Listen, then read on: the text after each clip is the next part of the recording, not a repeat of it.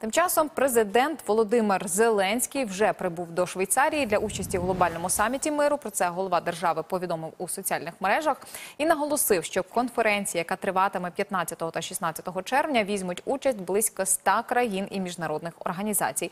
І додав, що учасники саміту зосередяться на обговоренні ядерної та продовольчої безпеки, повернення військовополонених і всіх депортованих осіб, і, зокрема, депортованих українських дітей.